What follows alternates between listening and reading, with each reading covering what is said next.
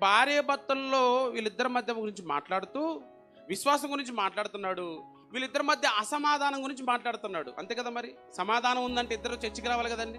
ఇద్దరు విశ్వాసాలు అనుకోండి ఇద్దరు ఎక్కడికి రావాలి? దేవుని సన్నిధికి రావాలి. ఏమంటే అన్ని కుటుంబాల్లో ఇలాగ ఉన్నాయా? ఏమంటే అన్ని కుటుంబాల్లో ఇలాంటి పరిస్థితులు ఉంటాయా? ఉండవండి. ఒకసారి ఆలోచించండి. అసమాధానం ఒకే శరీరము అంటే భార్య భర్తలు ఎవరండి? ఒకే ఏక శరీరం కదా? ఏక శరీరంలో ఇప్పుడు ఏముంది? విశ్వాస విషయంలో అసమాధానం ఉంది. సమాధానం లేదు. భార్య ఏమో చర్చి అంటది భర్త ఏమో బయటికి వెళ్దాం పదా అంటాడు. భర్త ఏమో చర్చికి అంటాడు భార్య అట్లా బయటికి వెళ్దాం పదా. ఆదివారం ఒకరోజు మనకి రెస్ట్ వచ్చింది. ఇప్పుడు ఇలాంటి పరిస్థితులు ఉన్నప్పుడు ప్రతిరోజు అండి దేవుని విషయంలో వీళ్ళిద్దరి మధ్య ఏముంటుంది చెప్పండి? గొడవలు ఉంటాయి. అసమాధానమే ఉంటుంది లేదు మధ్య.